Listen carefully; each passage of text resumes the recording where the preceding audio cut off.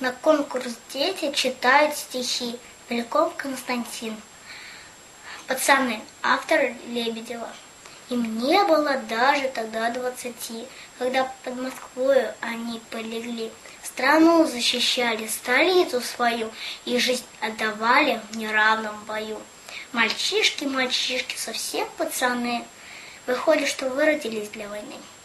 Недавно за, за школьную партой сидели, на девочку рядом с любовью глядели. Сказать не успели о первой любви, как вместе всем классом на битву ушли. Мальчишки, мальчишки, совсем пацаны, Вы жизнь отдавали за счастье страны.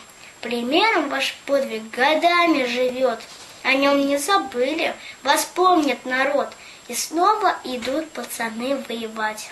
Их доля такая, страну зачищать. Мальчишки, мальчишки, совсем пацаны, И в мирное время на страже страны.